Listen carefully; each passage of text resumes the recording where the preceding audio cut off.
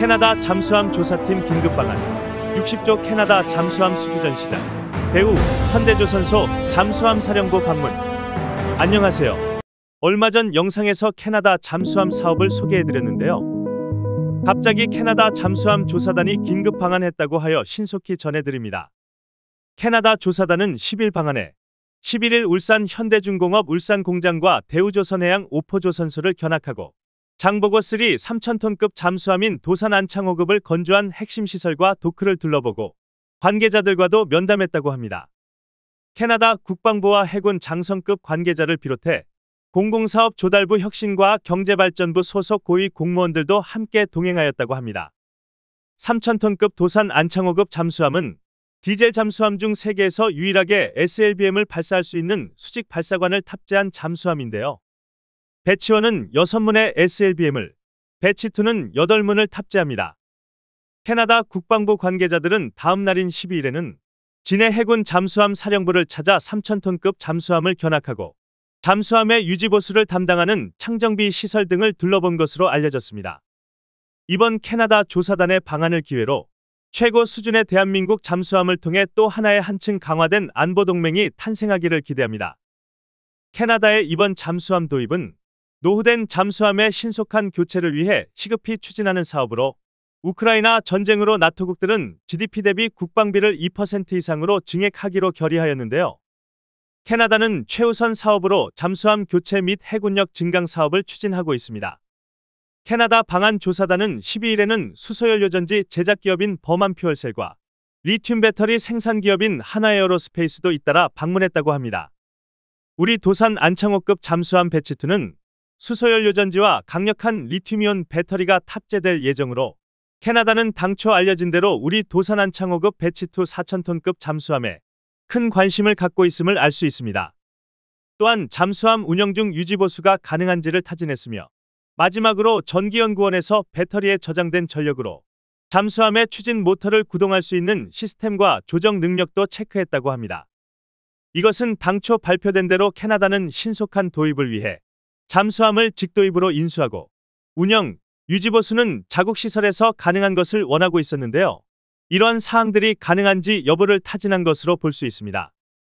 이같이 현장 방문은 핵심적인 사항에 대해 현장 확인과 조사를 벌인 것으로 볼 수 있으며 이는 대한민국 장보고3 배치2 대형 잠수함에 매우 큰 기대감을 갖고 조사한 것으로 파악되고 있습니다.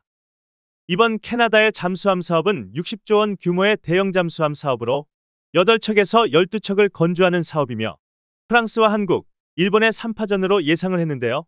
방안에 앞서 캐나다는 한국과 일본의 조사단을 파견한다고 하여 이번 캐나다 잠수함 사업은 당초 예상과 다르게 한일전으로 기우는 듯합니다. 또한 예상을 깨고 조기에 방문함으로써 캐나다 잠수함 사업이 생각외로 속도감 있게 추진되고 있어 올해 내로 결론을 낼 수도 있다고 보여집니다. 방한 직전 캐나다 조사단은 일본을 방문해 다이케이급 잠수함을 건조한 조선소와 해군 자위대 등도 방문한 것으로 알려졌는데요. 많은 사람들은 일본의 잠수함 기술이 상당한 것으로 알고 있으나 자국에서 건조해서 자국만 운용하고 있고 수출 실적이 전무한 터라 실제 잠수함의 성능과 운영 능력은 베일에 쌓여 있고 일부에선 소문만 못할 수도 있다고 말하기도 합니다. 특히 수출 실적이 전혀 없어서 해외 군수 지원 경험이 없고 건조 비용 또한 한국보다 훨씬 비싸며 AIP 기능이 없고 수직 발사기도 없습니다. 그에 비해 우리 도산 안창호급은 AIP 기능이 있고 재래식 잠수함 세계 최장 자망 기록을 가지고 있으며 배치2에 탑재되는 리튬이온 배터리는 세계 최고의 배터리 강국 대한민국에서 만든 것이고 여기에 수소연료 전지까지 탑재된 정숙성과 기밀성이 한층 강화되어 감히 세계 최고라고 해도 부족함이 없는 잠수함입니다.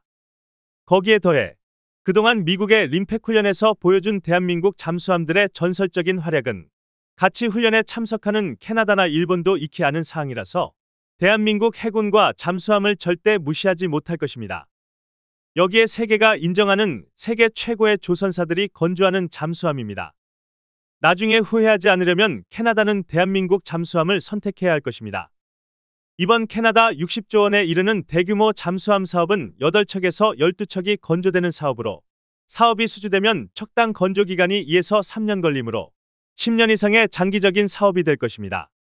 세계로 뻗는 K방산이 K9과 K2로 대표되는 지상무기에서 FA-50과 KF-21 보람에 이르는 항공무기로 그리고 이제는 해상무기로 그 영역을 넓혀 나가고 있습니다. 육해공 모든 무기를 자체 생산하고 수출하는 대단한 대한민국의 K방산. 이번에는 캐나다를 위해 잠수함을 만들어 줄 수 있는 기회가 되기를 기대합니다. 이같이 급진전되고 있는 캐나다 잠수함 사업권에 대해 반가운 소식을 신속히 전해드립니다. 시청 감사합니다. 오늘도 행복한 하루 보내시기 바랍니다. 강대국이 되는 그날까지 강대국 코리아는 달려갑니다. 구독, 좋아요는 애국입니다. 감사합니다.